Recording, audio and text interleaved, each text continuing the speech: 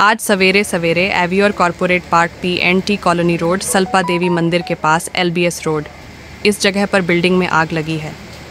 छह मंजिल पर किसी कारणवश आग लगने की वजह से बहुत लोगों को ऑफ़िस स्टाफ के कर्मचारियों को परेशानी का सामना करना पड़ा और उसके बाद तुरंत फायर ब्रिगेड के कर्मचारी उस जगह पर फायर ब्रिगेड की 10 से 12 गाड़ियाँ आग बुझाने के लिए आईं और उन्होंने जल्दी से जल्दी आग बुझाने का काम किया।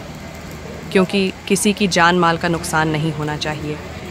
इसलिए इस फायर ब्रिगेड के जाबांज कर्मचारी और महिला कर्मचारी ही ने जल्दी से जल्दी बड़े से बड़े हादसा होने बचाया दिया और उन्होंने आग बुझाने का काम किया।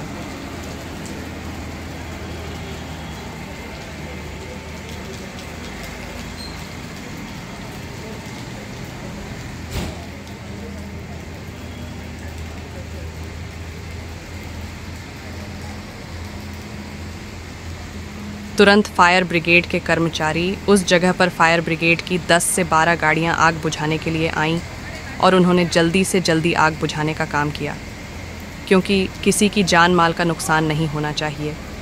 इसलिए इस फायर ब्रिगेड के जाबांज कर्मचारी और महिला कर्मचारी ही ने जल्दी से जल्दी बड़े से बड़े हादसा होने बचाया दिया और उन्होंने आग बुझाने का काम किया।